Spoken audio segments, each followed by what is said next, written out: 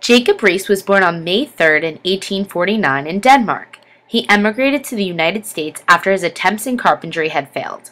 During his first years in America, Riis was living day to day off of almost no money. He knew he needed to make a turnaround. After writing for so long, Riis took up photography in order to capture images that he couldn't even put into words. Riis became one of the first photographers to incorporate flash, especially in one of his most famous works entitled How the Other Half Lives. All of the following photographs opened people's eyes to how the poor lived and how the rich were so unaware of this. Riis showcased these pictures in order to become a true muckraker and to try to create social reform. He focused on labor and tenement life.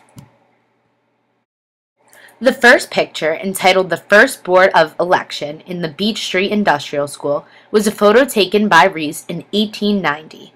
The photo is ethically evaluative because it shows three girls of all different nationalities standing with each other, something that was not heard of at the time due to the prominent inherent racism.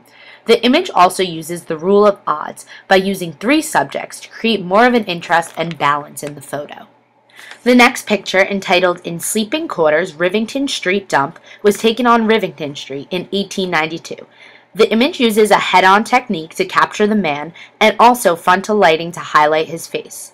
Once you look past this, you notice the disgusting background that he calls his makeshift home, with a pair of boots hanging from the wall as well as a picture.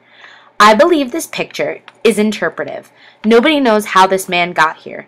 What is his past? How long has he been here? And how long does he plan on staying? How does he make this small area work?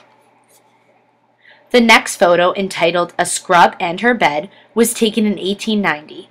The photo uses a bullseye technique and head-on perspective, drawing the eye to the impoverished woman.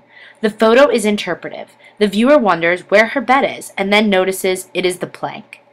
He wonders then whose hand appears in the corner. Is that a man in a suit pointing at her or offering her his cigarette? The photo really highlights the gap between the rich and the poor.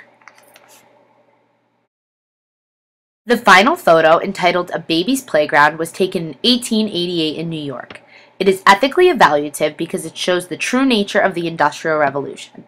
It shows this poor child alone, noting how the filth she plays in from an overflowing sink is all she has to play in, and the environment is all she has to play around. The photo really captures the industrial era when young children were left alone while their parents and older siblings went to do factory work. The photo uses a bullseye perspective, focusing on the child and the faucet above her head. When analyzed more, it also incorporates some perspective as vanishing. Where does the little alley that she's in lead to?